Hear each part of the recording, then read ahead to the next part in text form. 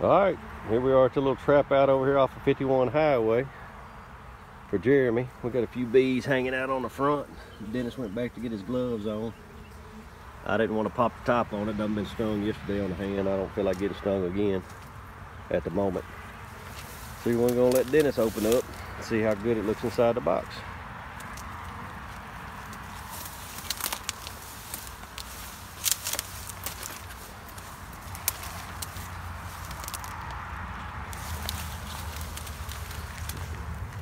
I'll take my glove off and get it open. May have to.